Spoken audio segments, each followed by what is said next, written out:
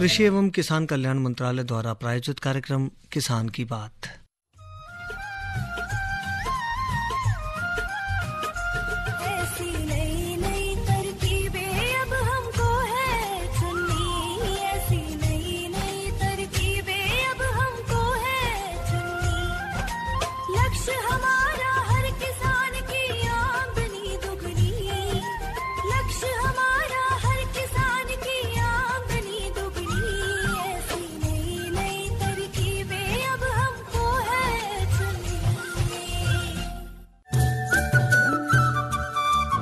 इस कार्यक्रम के प्रायोजक है कृषि एवं किसान कल्याण मंत्रालय भारत सरकार। नमस्कार स्वागत है आप सभी का। गर्मी हो या कोई भी मौसम कहीं ना कहीं हमारे जलवायु समीकरणों से जुड़ा होता है नीलम जी। सही बात और जब ये जलवायु समीकरण इधर उधर होते हैं कोई भी ठहराव इनमें आता है कहीं भी अवसाद इनमें महसूस किया जा रहा होता है हम्म। तो समूचा जो तंत्र है खासतौर से जिस कार्यक्रम की हम यहाँ बात कर रहे होते हैं जिन लोगों को हम यहाँ प्रतिनिधित्व दे रहे होते हैं हम्म। उन तक सही समय पर सही सूचना पहुँचना बहुत ज़रूरी है। रजत जी क्या हुआ? एक बार पिछली बार पिछले साल स्वतंत्रता दिवस के अवसर पर ऑनलाइन एक बच्चे की कविता सुनने का मुझे अवसर मिला। जी जी। जी उसने क्या सुनाई कविता? रिस्पेक्टेड मैम मम्मी पापा दादा दादी नाना नानी मेरे प्यारे देश की खातिर आप भी दो थोड़ी कुर्बानी। ताकि मिलती रहे हमें सुरक्षित धरती स्वच्छ हवा और साफ़ पानी। सुरक्षित धरती स्वच्छ हवा और साफ़ पानी। वो कुर्बानी बच्चा हमसे क्या मांग रहा है? हम्म। कि क्या हम अपने देश के लिए इस धरती के लिए कर सकते हैं जी। ये जो गर्मी लगातार बढ़ रही है ये चिंता का कारण भी है और चिंता चिंतन का कारण भी है पूरे हम्म। विश्व के लिए हम्म। कि कैसे इस बढ़ते हुए तापमान को कम किया जा सके कैसे हम अपने पर्यावरण के संतुलन को बनाए रखें ताकि हमारा जो विकास हो वो निरंतर हो और स्थायी विकास हो। बिल्कुल बिल्कुल। हमें खाद्य सुरक्षा चाहिए जनसंख्या बढ़ रही है। खाद्य सुरक्षा तभी संभव है सतत और स्थायी अगर हमारा पर्यावरण संतुलित हम्म। है। और उसमें जी और उसमें बहुत ज़्यादा जो भूमिका है हरित गैसों की है जिन्हें हम ग्रीन गैसेस कहते हैं। जी। आपने जो तीन कंपोनेंट्स बोले सुरक्षित धरती स्वच्छ हवा और साफ़ पानी। ये स्वस्थ खेती के लिए भी ज़रूरी है एक सुचारू रूप से चलने वाले जीवन के लिए भी बहुत ज़रूरी है और एक अच्छी बेहतरीन संकल्पना के लिए ज़रूरी है जब हम देश को एक नियमित और एक सशक्त अर्थव्यवस्था बनाने की तरफ़ अग्रसर हूँ। बहरहाल किसान की बात के आज के संस्करण में आप सभी का स्वागत करते हैं। मैं हूँ रजत और मेरे साथ हैं नीलम। जी स्वागत है नीलम जी। जी हम देखिए अपने नाम पे बाद में आए हैं और पहले हमने बातें की हैं। पहले बातें की हैं क्योंकि बात है ही इतनी चिंतनीय इतनी गंभीर के किसी भी विषय से पहले इनका हम्म। ज़िक्र होना आज जनमानस के बीच बहुत ज़रूरी है इसीलिए आज शायद हमने इसे एक विषय के रूप में चुना है एक नियमित विषय के रूप में चुना है हम्म। और आधे घंटे के लगभग अपने इस कार्यक्रम में हम यही बात करने जा रहे हैं और हमारा साथ देने के लिए आपकी जिज्ञासाओं को तृप्त करने के लिए आपके सवालों का संतोषजनक उत्तर देने के लिए हमारे साथ हैं आज विषय विशेषज्ञ जो कि प्रधान वैज्ञानिक हैं भारतीय कृषि अनुसंधान संस्थान पूसा में स्वागत है डॉक्टर आरती भाटिया आपका बहुत बहुत धन्यवाद और जो हमारा आज का विषय है हरित ग्रह गैसें जो कि एक बहुत प्रमुख विषय है जो कि अगर आप चाहते हैं कि हमारी धरती बची रहे हम सब आगे चलकर हमारे बच्चे हमारे सारे परिवार अच्छे से खुशियाँ मनाते रहें इसके लिए हमारे को हमारे पर्यावरण को और हमारी धरती को बहुत बहुत सुरक्षित रखना पड़ेगा। जी। बिल्कुल सही बात है डॉक्टर भाटिया। देखिए हम दूसरे ग्रहों की तो तलाश कर रहे हैं। जो ग्रह हमारे पास है उसकी सार संभाल हमारे लिए कितनी ज़रूरी है और हम आगे आने वाली पीढ़ी को उसे किस तरह से बता रहे हैं, ये भी बहुत ज़रूरी है। और जैसे कि आपने कहा कि हरित गैसें हैं जो वो कृषि से आ, कैसे पैदा होती हैं? कृषि का उनमें हरित गैसों के उत्सर्जन में क्या भूमिका है? हम्म। और कृषि पर उसका क्या प्रभाव पड़ता है? जलवायु परिवर्तन में क्या प्रभाव पड़ता है? ये हमारा जो विषय है और विशेषज्ञ हैं डॉक्टर आरती भाटिया। और आप श्रोता अगर इस विषय से संबंधित कोई सवाल पूछना चाहते हैं तो हमारा नंबर है two three four two one zero eight one.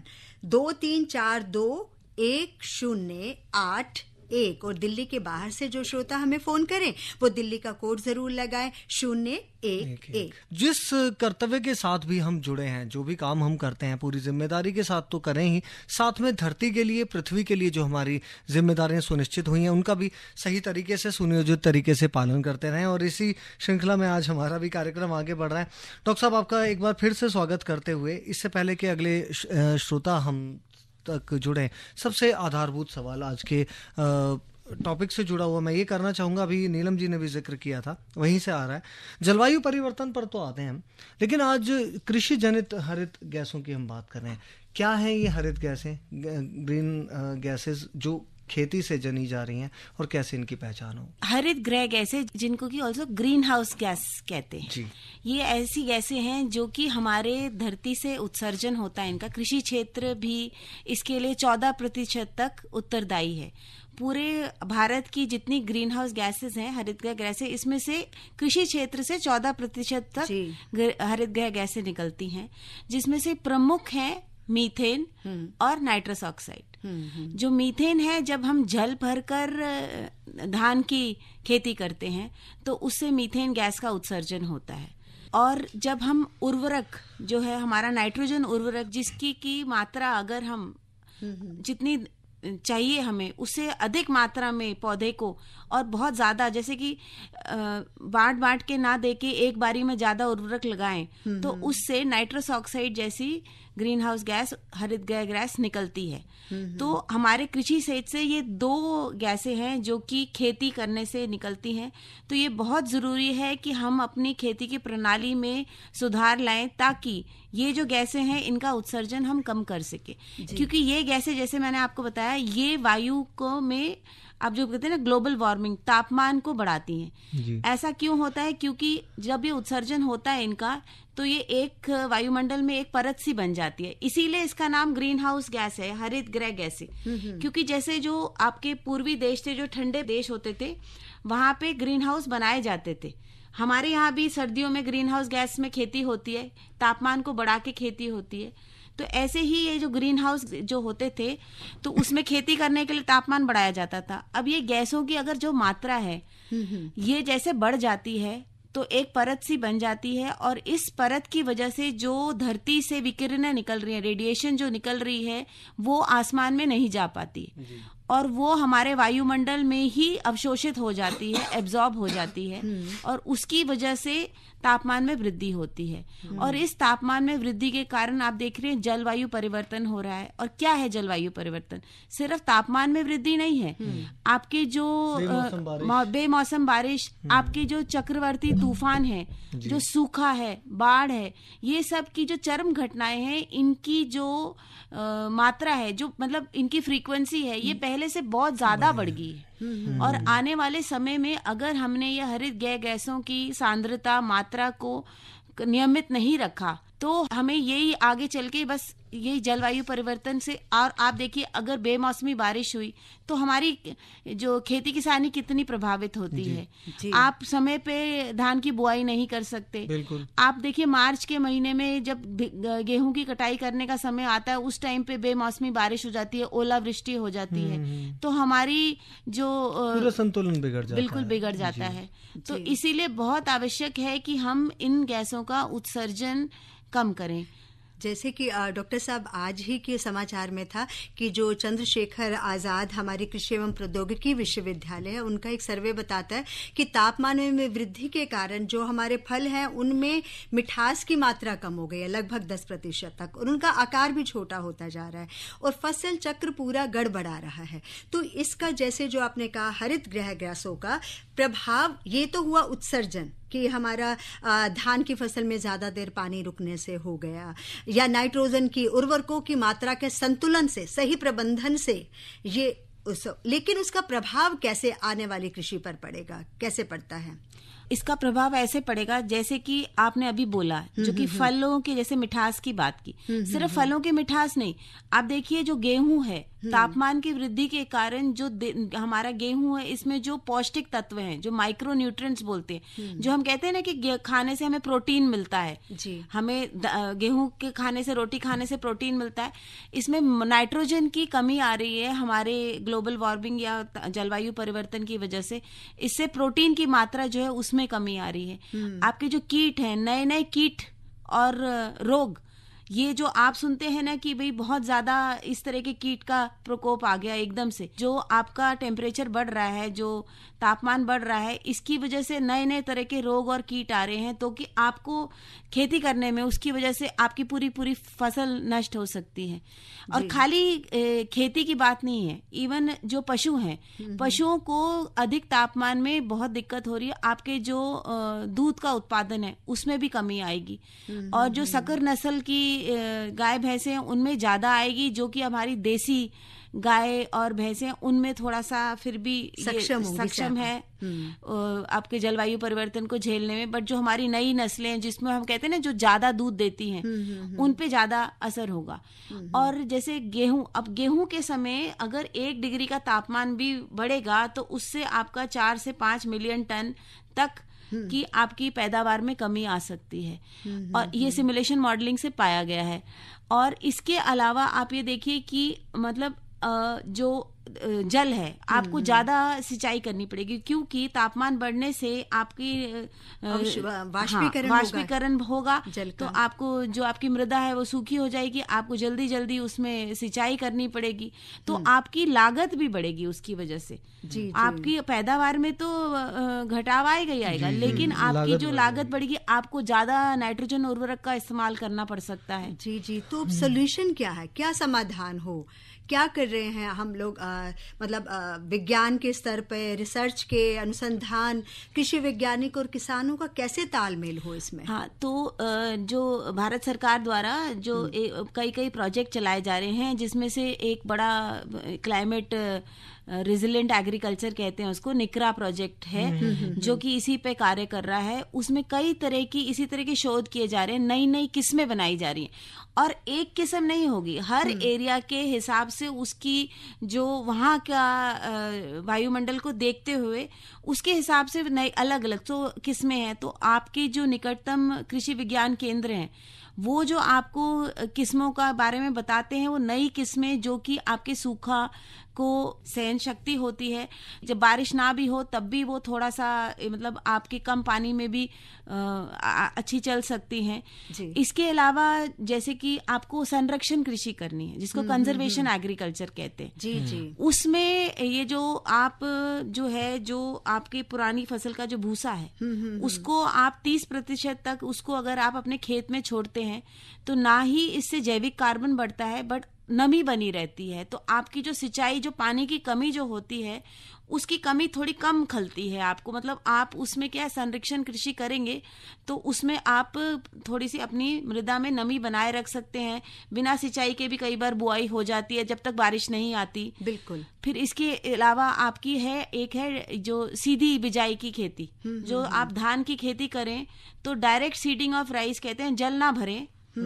आप डायरेक्ट सीडिंग ऑफ़ राइस कीजिए जिससे कि ना तो मीथेन ज़्यादा निकलेगी हाँ, हाँ, और आपका जो है ना मतलब आपको लेबर भी उसमें कम लगेगी तो इससे आपका जो दोनों तरफ़ से फ़ायदा रहेगा। जी जी जी। और इसके अलावा आप क्या कर सकते हैं कि जो जैसे टपकदार सिंचाई है हाँ, हाँ फवारा हाँ, सिंचाई है जिससे कि पानी की मतलब बचत बचत हो, हो सकती है। तो जलवायु परिवर्तन तो होएगा ही आगे चल के। हम्म, हम्म, हम्म, लेकिन आप उसके अंदर क्या कर सकते हैं कि अगर आप पानी की बचाव करना चाहते हैं तो आप फवारा सिंचाई टपकदार सिंचाई जो कि आपके प्रधानमंत्री किसान सिंचाई योजना में अनुदान भी इसके लिए दिए जाते हैं। तो इन सब चीज़ों का भरपूर उपयोग करें। आप जो नाइट्रोजन उर्वरक है इसका इस्तेमाल जो है जैसे कि बड़े छोटे छोटे साधन है जो कि सौ रुपए में आपको मिलता है जैसे लीफ कलर चार्ट है। हाँ, हाँ, हाँ. आपको पत्ती का रंग देखना है और उसके हिसाब से देखना है कि नाइट्रोजन उर्वरक लगाने की ज़रूरत है या नहीं है। बिल्कुल। ये नहीं कि बस ये ये टाइम हो गया तो एक कट्टा हमने उसमें उर्वरक डाल दिया। जी, जी, तो जी. उस तरह से आप क्या है आपकी उर्वरक में भी बचत होगी आपका खर्चा भी कम होगा और आपके वायुमंडल पे जो इसके बुरे असर, असर हैं। वो भी आप कम कर पाएँगे डॉक्टर साहब बड़ा तर्कों पर जाते रहने वाला ये विषय है। एक तर्क के साथ दूसरा तर्क नया नई जिज्ञासा नया सवाल काफ़ी जहन में है अभी भी जिस पर हम बात कर सकते हैं। और मैं अपने श्रोता मित्रों को भी बता दूँ कि आज कृषि जनित हरित गैसें और जलवायु परिवर्तन विषय पर हम बात कर रहे हैं। डॉक्टर आरती भाटिया हमारे साथ हैं। और आप हमें सीधे कॉल भी कर सकते हैं। हमारे टेलीफोन नंबर पर टू थ्री फोर टू 1081 पर, जिसमें आपको ज़रूरत पड़ेगी अगर आप दिल्ली से बाहर के श्रोता हैं तो शून्य एक एक दिल्ली का एसटीडी कोड लगाने की।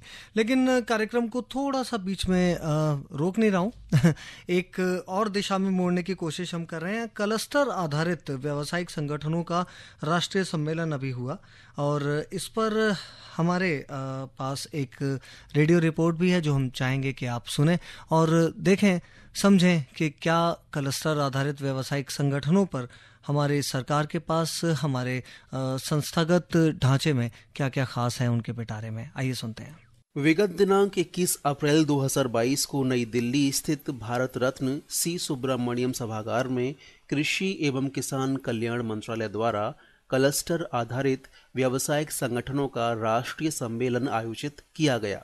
इस राष्ट्रीय सम्मेलन में केंद्रीय कृषि एवं किसान कल्याण मंत्री श्री नरेंद्र सिंह तोमर, केंद्रीय कृषि एवं किसान कल्याण राज्य मंत्री श्री कैलाश चौधरी, लघु कृषक कृषि व्यापार संघ की प्रबंध निदेशक श्रीमती नील कमल दरबारी केंद्रीय कृषि एवं किसान कल्याण मंत्रालय में अतिरिक्त सचिव श्री अभिलक्ष्य लेखी, संयुक्त सचिव श्रीमती विजय लक्ष्मी नाबार्ड के chairman Shri G M Chintala ICAR, NCDC, NAFED SFC सहित और कई कंपनियों के अधिकारियों कर्मचारियों सहित देश के विभिन्न भागों से आए सीबीबीओ के प्रतिनिधि मौजूद थे। इस अवसर पर कृषि एवं किसान कल्याण मंत्रालय में अतिरिक्त सचिव श्री अभिलक्ष लेखी ने वन डिस्ट्रिक्ट वन प्रोडक्ट्स के बारे में जानकारी देते हुए कहा। One district, one product. लगभग 728 जिलों की लिस्ट माननीय मंत्री जी के नेतृत्व से फ़ूड प्रोसेसिंग और एग्रीकल्चर को जोड़ के बनाई गई। डीएम्स का उसमें कॉन्फ्रेंस कराया गया। सारे जिलों में सर वो लिस्ट आज के दिन उपलब्ध है। कितने सीबीबीओज ने 728 जिलों में उस लिस्ट को उठाया और देखा कि इसमें अलग तरह की राइस की प्रजातियाँ या इसमें फ्रूट्स एंड वेजिटेबल्स जो चुने गए हैं या और भी कोई चीज़ें चुनी गई हैं, उनको हम एफ़ के साथ जोड़ें तो सर उसको हमें रियलिटी बनाना है। वो सीबीबीओ ही करेंगे। यहाँ से बैठ के वो चीज़ नहीं हो सकती। तो ये भी मेरी आपसे रिक्वेस्ट है ओडीओपी स्कीम उसका केवल हम उल्लेख स्कीम में कर दें, उससे नहीं बात बनेगी। आज के दिन हर डीएम कलेक्टर डिप्टी कमिश्नर को जागरूकता है कि ओडीओपी की एक लस्ट फ़ील्ड में उपलब्ध है और वो बहुत काम आ सकती है सीबीबीओ के नए तरह के प्रयोग करने के लिए या उन उन किस्म की प्रजातियों के बारे में। नॉर्थ ईस्ट में मंत्रालय ने सर 10-12 ऐसे चुने हैं, फल जो एग्जॉटिक है, कीवी है अवकाडो है, उसी तरह से इंडिजिनस भी चुने हैं, सर। अनोला है आंवला है जामुन है।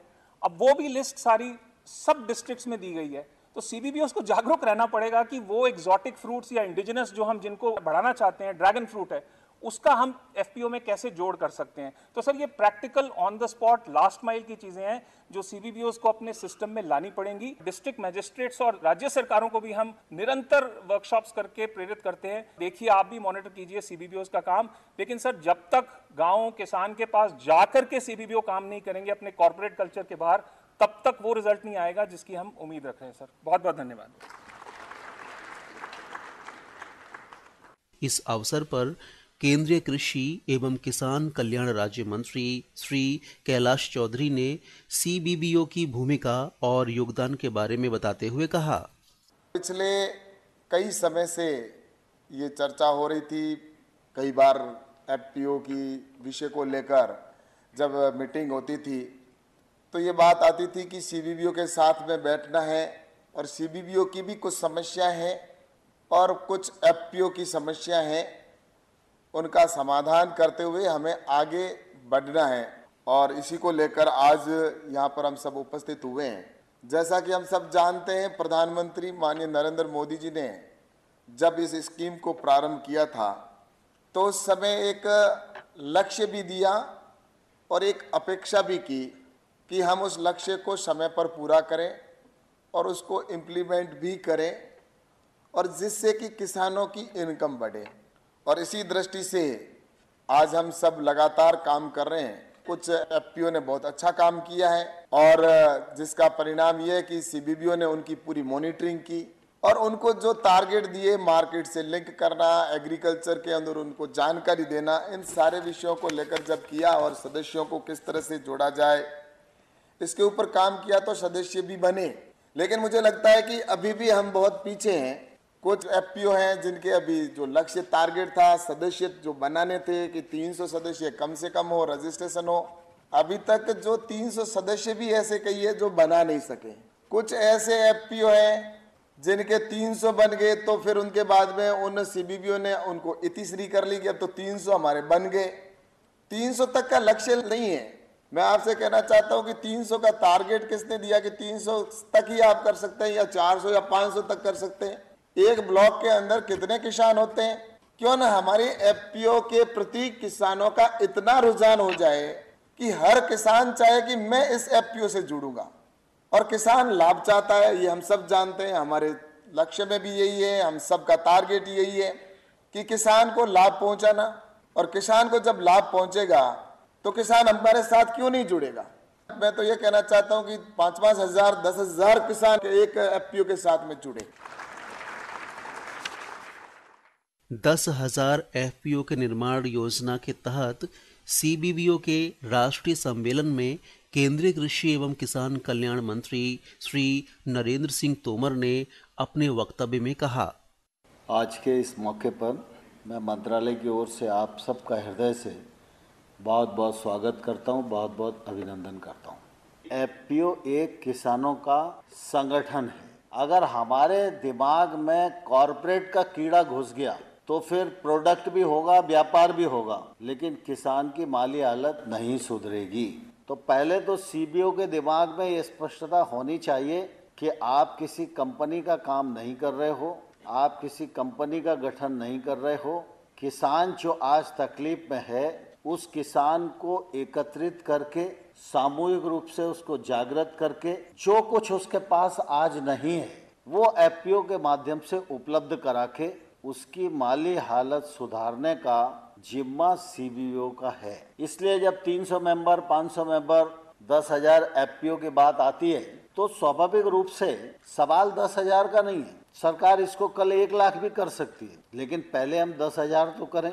दस हज़ार का कैसा परिणाम आता है, उसके बाद ही सरकार आगे बढ़ सकती है। कोई यहाँ पर पूर्ण विराम लग गया है, ऐसी स्थिति नहीं है। योजना पर छह हज़ार आठ सौ पैंसठ करोड़ रुपया खर्च करने वाले और अभी सिर्फ़ 14 करोड़ रुपया पूंजी लोगों के खाते में डालने की शुरुआत हुई है। फरवरी 20 में अनाउंस हुआ था और आज हम अप्रैल 22 में बैठे एक साल बाकी काम को लगा होगा, लेकिन लगभग सीबीओ का चयन होने के बाद भी एक वर्ष पूरा व्यतीत हो गया है। तो इस दृष्टि से भी हम लोगों को सोचना चाहिए। किसानों को इकट्ठा करना इसलिए ज़रूरी है कि हमारी पहली प्राथमिकता यह रहे कि किसान के खेत में आपके मार्गदर्शन से, आपके हस्तक्षेप से, आपके ज्ञान से, आपकी तकनीक से, आपके विपणन की विशेषज्ञता से किसान जब जुड़ेगा तो अच्छी खेती कर पाएगा। अच्छी खेती करेगा तो अच्छा उत्पादन होगा।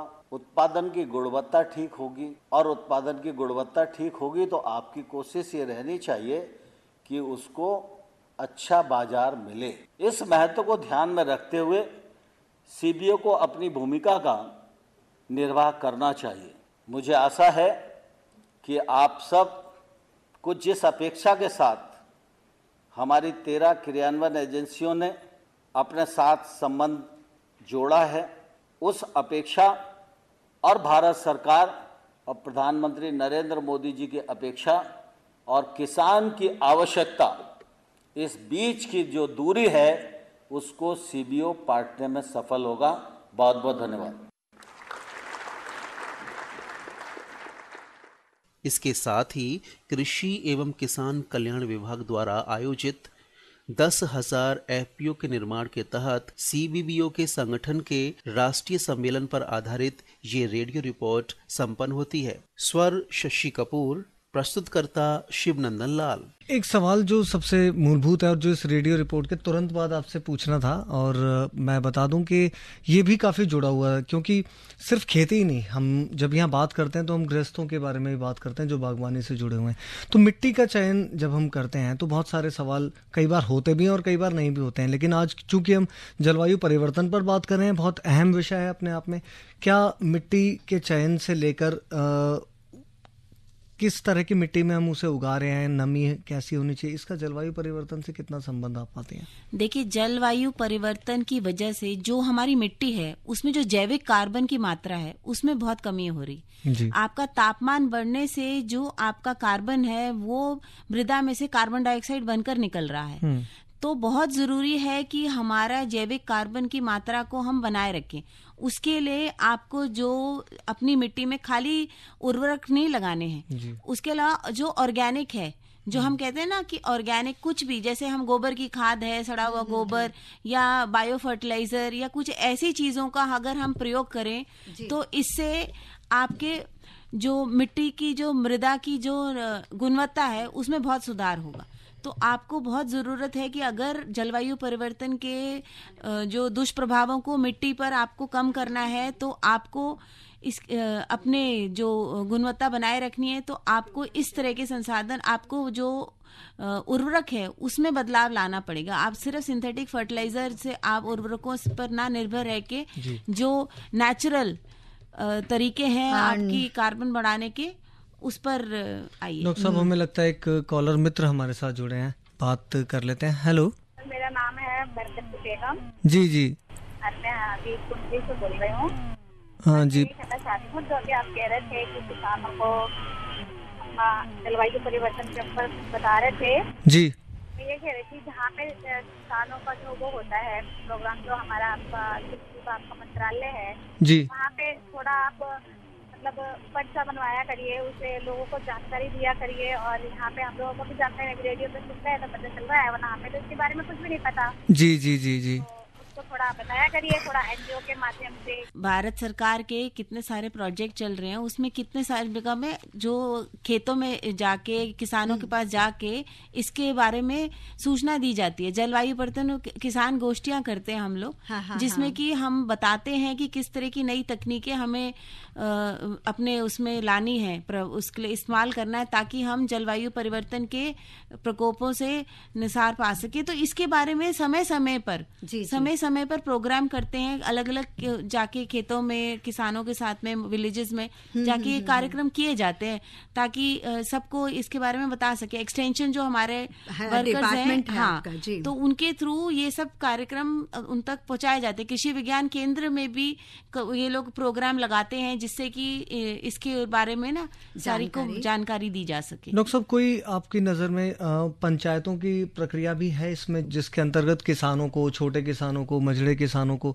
या जो किसानों के लिए काम कर रहे हैं एनजीओ उनको जोड़कर इस तरह की सूचनाओं का आदान प्रदान किया जाता हो कुछ ऐसा किया जाता हो विभागीय स्तर पर देखिए ज़्यादा तो इसके बारे में मुझे नहीं पता लेकिन ये है कि जैसे कि आपको पता है मौसम की सूचनाएँ हम्म। वो जो हमारे सारे किसानों को के भाई की जलवायु परिवर्तन किस तरह से आपका किस दिन बारिश आनी है नहीं आनी है तो ये सारी सूचनाएँ तो रोज के रोज दी जाती है ना। इसके बारे में तो बताया जाता है कि किस तरह से अगर कोई कीट का आने वाला है भाई अटैक होने वाला तो उसके बारे में भी इसकी सूचनाएँ बताई जाती हैं। बिल्कुल सही बात है और वैसे भी हम बताना चाहेंगे कि जहाँ बात कर रहे थे वो agri coop dot N I C dot in वहाँ पे जाके वो तमाम जानकारी जो कृषि एवं किसान कल्याण मंत्रालय की वेबसाइट है तमाम जानकारी जैसे आपने कहा विस्तार निदेशालय है विस्तार जो भी गतिविधियाँ हैं उसमें है और हर ज़िले में कृषि विज्ञान केंद्र है। सबसे ज़्यादा महत्वपूर्ण कृषि विज्ञान केंद्र है। कृषि विज्ञान केंद्र से जो वहाँ की लोकल एनजीओ है जुड़ी हुई है वो कृषि विज्ञान केंद्र उन एनजीओ को समय समय पर वो प्रोग्राम लगाते रहते हैं और सारा विस्तार में बताते भी रहते हैं। डॉक्टर साहब काफ़ी महत्वपूर्ण ये जानकारी रही और काफ़ी इस पे हमने लगभग बात भी की है। डॉक्टर आरती भाटिया का एक बार फिर से धन्यवाद करना चाहूँगा और नीलम और रजत को दीजिए कार्यक्रम संपन्न करने की अनुमति। इससे पहले बता दूँ कि कल फ़सल के रंग किसान के संग कार्यक्रम में आप सुनेंगे कम अवधि और अधिक लाभ वाली सब्जियों पर हमारा विशेष कार्यक्रम। फ़िलहाल दीजिए हम दोनों को इजाज़त फिर मिलेंगे। नमस्कार, नमस्कार। इस कार्यक्रम के प्रायोजक थे कृषि एवं किसान कल्याण मंत्रालय भारत सरकार।